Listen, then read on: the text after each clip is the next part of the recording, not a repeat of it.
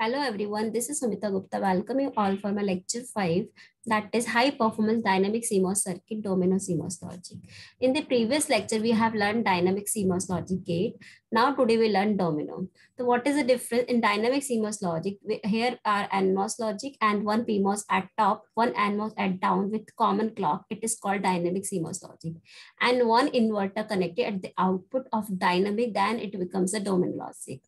Then what is the need of domino logic? That is a cascading problem which was occurring in the dynamic logic that uh, removed in the uh, domino logic. How that removed? So first we will try to understand what was the cascading problem.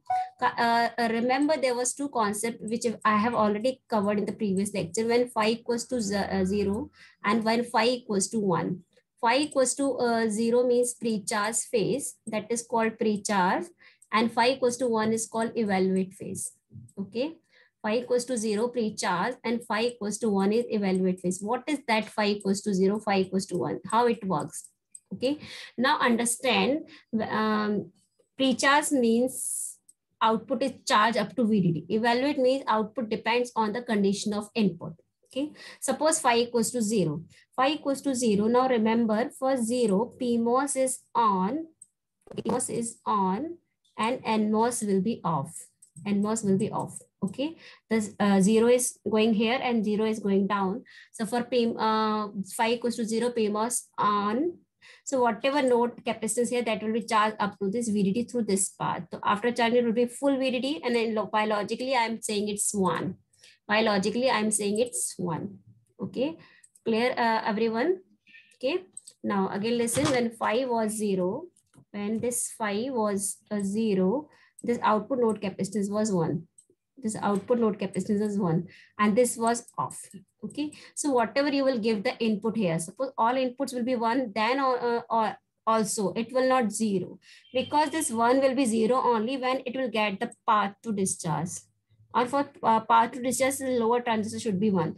That's why in phi equals to zero will get output always one for phi equals to 0 will get output always 1 because it will not get the path to discharge. Okay, that's why it's called only pre-charge. Means output node is pre-charge previously. Without giving any input, it is pre-charge. Previously charged. Okay, it is 1. That's why phi equals to uh, 0 is called pre-charge phase. Now, what will happen when phi equals to 1? Okay, what will happen when we'll give phi equals to uh, phi equals to 1? That we will see here that is called evaluation phase. I'm uh, taking different colors to show you. Suppose phi equals to 1. For phi equals to 1, PMOS transistor is off. Okay. For phi equals to 1, this PMOS transistor is off. So this will be off. Okay. And this will also off. And phi equals to 1, this lower transistor will be on. This path will be there this path will be there. Now this one can be zero if these all inputs are one. Means if it will get the path. Now lower path is already there. If it will uh, get the blow uh, between path also, then it will zero. Okay, same with here. Now, if inverter was not in dynamic state, so what will happen? This one will be as it is to the next stage. Okay, this one will be as it is to next stage. Suppose all the inputs are one, then it is having the path so this one will be zero. This one will be zero. Okay. This is uh, you are getting now. But again, you understand, uh, uh, this is evaluate phase. We have given y phi equals to one lower two transistors on, but it uh, next stage it is taken one and as per one, the output is zero. But suppose now the condition is, I'm again uh, showing with different color. Uh, suppose condition is all the inputs of first stage are one if all inputs of first stage are 1, then it will be 0. But if according to 0, if it is 0, this path will be break. It will not get part to discharge. Then output it will be remains 1. Means in the previous stage output was 0. Now output is 1.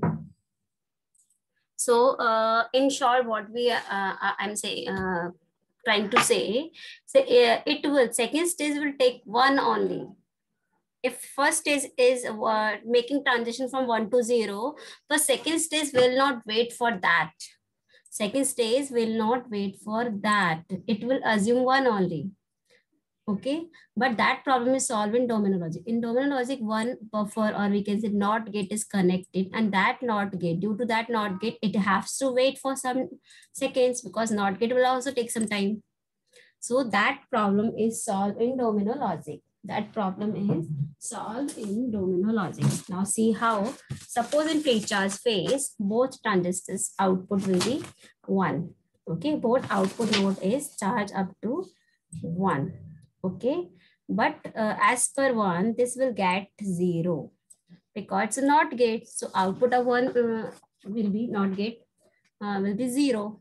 Okay so as per zero it will one only second stage output one only because it is not getting the path to discharge because due to zero the NMOS transistor will be off any one transistor one so logically it is correct suppose y any means these all inputs are one then output will be zero so NOT gate output will be 1. Okay. And as per 1, this output will be 0. We'll get the correct output. Because in the previous case, dynamic logic, it was not waiting for its output. It was uh, assuming this one only because uh, it wasn't waiting. But now due to attaching NOT gate, it has to wait for this its output, NOT gate output. Okay? And this not gate can make from 0 to 1 transition not from 1 to 0 means suppose it is 0 then it will uh, make transition 1 now it will not make transition from 1 to 0 again i'm repeating this thing. Okay? Again listen carefully what i want to say in the dynamic is uh, dynamic logic what was happening in dynamic logic the both output of 1 and as per 1 it becoming zero, it was not waiting the correct output of first stage. In, if any one input uh, is not, uh, any one input is zero, then it will be one and it will be correct. But if uh, by any means all inputs are one, it will get the part to discharge and it will make transition one to zero. But second stage will not wait, it will assume one only in dynamic stage.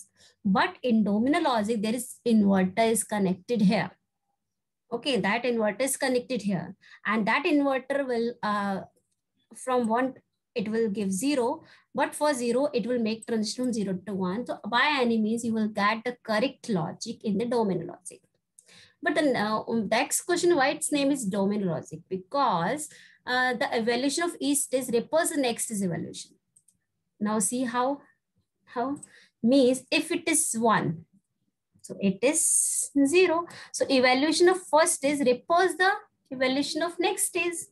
And revolution of next stage is uh, uh, the third stage like a dominoes falling one after the other. That's why its name is domino logic. Again, listen, the evaluation of first stage repulse the evaluation of next stage. Okay, repulse the evaluation of next stage. That's why it's called uh, domino logic because it's like a dominoes falling one after the other. Next is, suppose for example, there is an expression y z equals to ab plus uh, c plus d into c plus d plus gh. And you have to draw this with standard CMOS. Okay, you have to draw it with standard CMOS. Now see A into B. For multiplication NMOS in series, Okay, for GH multiplication NMOS in series, now C plus D, both transistor will be in parallel. Here, uh, here it is mistake, it's not C plus D. Okay, it was E plus, uh, it was uh, C plus D and it was E plus F. It is wrongly printed. It was E plus F. Okay. So C and D both are parallel, E and F both are parallel. This is NMOS stage. If you are using standard CMOS, the opposite combination will be at top.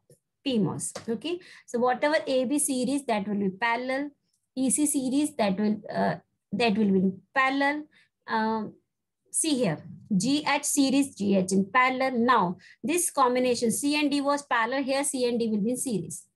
ENF was parallel, EFN is series. And these two combination are in series. So these two combination will be are in will be in parallel.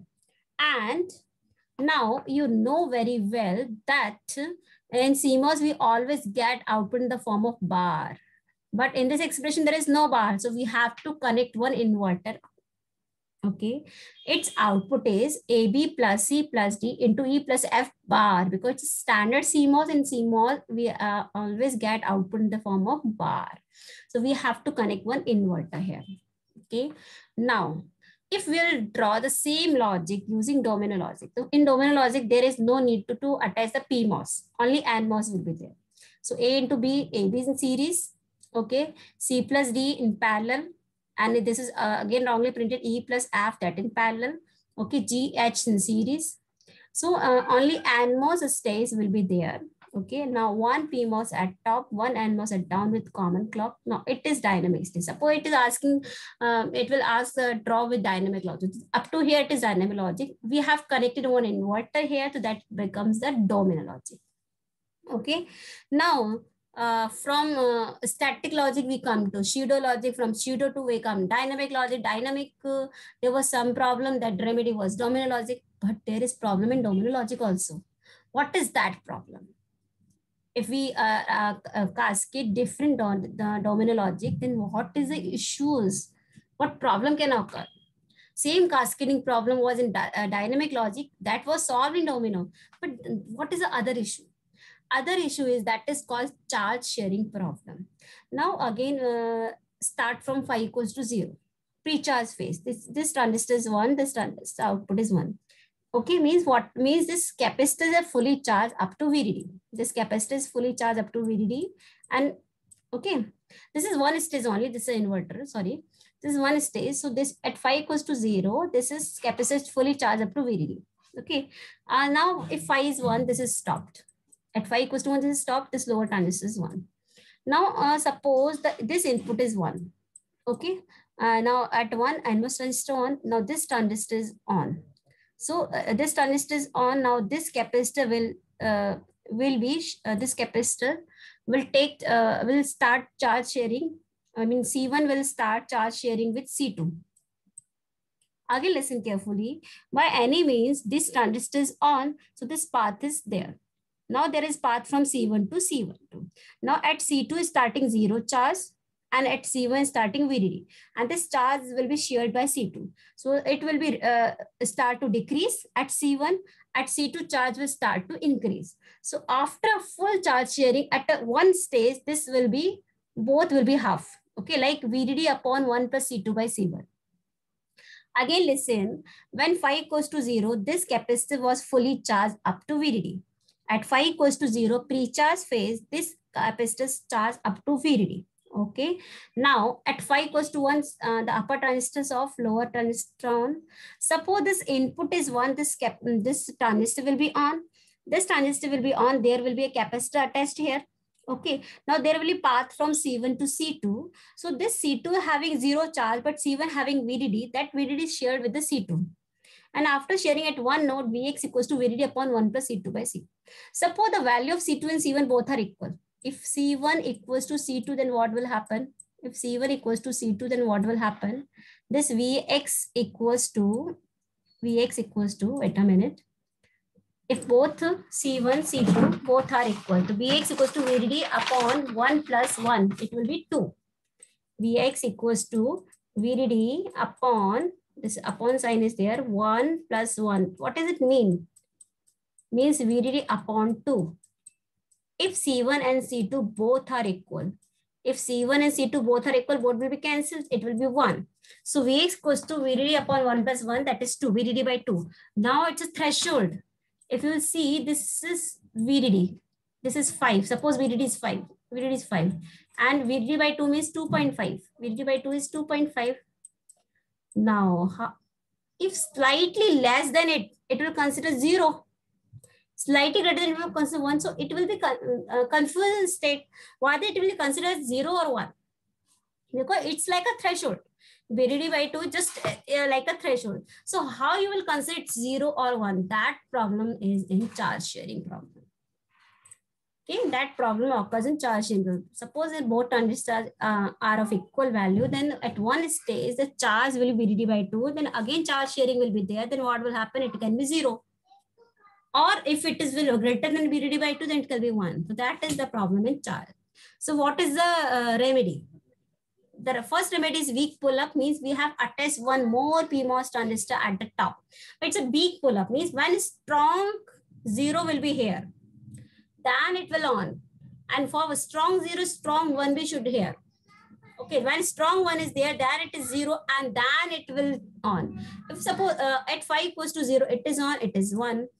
Okay, and due to 1, this is 0 here, it is also on. So it will be charge full. It will, uh, there is no chance of charge, uh, by charge sharing, it will reduce. No. Again, listen uh, carefully. What is the point I want to explain? For phi equals to 0, it is 1. But due to charge sharing, it was reducing. It was becoming half. 1 means VDD, but due to charge sharing, it was becoming VDD by 2. But if it is strong 1, it is uh, means due to 1, it is output is 0. For due, uh, 0, this transistor is on. If this transistor is on, again there is chance to charge here. It will becomes 1 after charge sharing problem also. Because uh, uh, previously it was charged through this. Uh, when phi equals to 0, it was charged to this. But when phi equals to 1, this transistor was off and uh, it, this charge was shared. But the second transistor is on, it will again charge. It will again charge, it will be one only. So that problem was solved in weak pull-up. Now, next uh, solution is use multiple pre-charge transistors. Means for different uh, states, different transistors. A different pre-charge transistor means for phi equals to 0, this is also 1, this is also 1. So there is no chance of charge sharing. In the previous case, there was uh, only one pre-charge transistor. So only this stage was 1 and this stage was 0. So when phi equals to 1 and these output are 1, that this charge was shared by the C2. But that problem is solved here because, uh, because now we are having using the different pre-charge transistors. Okay, so using multiple pre-charge transistors, the charge sharing problem is solved. So this is the example. You pause the video, try yourself how to draw four input CMOS NAND gate using domino logic. Four input CMOS NAND. NAND means Y equals to A into B into C into D bar. So if a multiplication sign is there, means it is in, in short A multiply by B, multiply by C, multiply by D and bar. This you want to design using domino logic. Y equals to A into B into C into D bar. All, all four transistors will be in series. Because multiplication sign, due to multiplication sign, all NMOS transistors in series, PMOS will be parallel, but there is no logic of PMOS in domino logic. So A, B, C, D all series and one PMOS at top, one NMOS at bottom and with common clock. So it is dynamic logic. Suppose this question was asked using dynamic logic. Then uh, there is no inverter here. Okay. But using domino logic, then you have to connect one inverter here. Okay. But that is a disadvantage also. In domino logic, we are getting without inverted output. We are not getting inverted output. So for inverted output, one more inverter is connected here. That is a drawback of dynamic uh, domino logic. Now next is NORA logic. NORA is NP uh, domino logic. Means uh, uh just one uh, uh, modification in the previous case. Here again domino logic is there. But what is NP means first uh, if we are uh, attaching, uh, we are cascading different stages.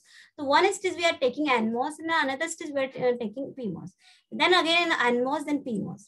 It's a domino logic, but with NMOS logic. It's a domino logic with PMOS logic. It's a domino logic with NMOS logic. Then, uh, then how problem was solved? See, at when phi equals to zero, only NMOS transistors output will be pre-charged and PMOS will not be there.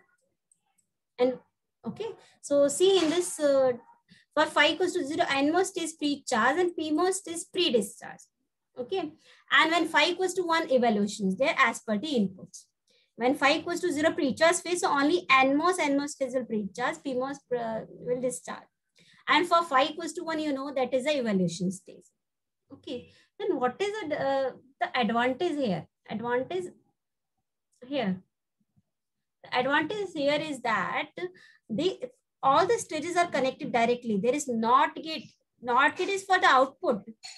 And what is for the output? But it uh, the output for going for the second stage is going it's going directly. Here also output going directly. And remember, for NMOS, output is at top of NMOS transistor. For PMOS, output is at bottom of PMOS transistor. So connection um, um, means please uh, have focus on uh, when you are making any connection. And NMOS output is at the top, but for PMOS, output is at bottom. Okay. So this was the NP domino logic, NORA logic. This is example. Uh, NORA logic means whatever the, uh, the logic here. NMOS, PMOS, NMOS. Okay. But uh, for NMOS clock will be phi, PMOS phi bar 5. Okay. And remember the inverter is not showing here. Inverter will be connected here when you will giving for to any stage for PMOS stage. But if you connect directly, then there will be no inverter. Okay. So that is the advantage of NORA NORA logic. Static CMOS inverter is not required at output of every stage. So direct coupling is happening here. Means directly output of first stage is going to the uh, input of second stage. And the second advantage, it, it allows pipeline system architecture. So thank you so much. Keep learning, keep sharing. Uh, God bless you.